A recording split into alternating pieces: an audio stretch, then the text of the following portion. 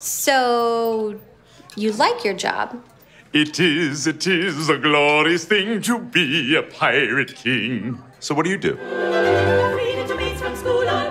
Make a date to see New York Gilbert and Sullivan players in The Mikado. You'll absolutely love it.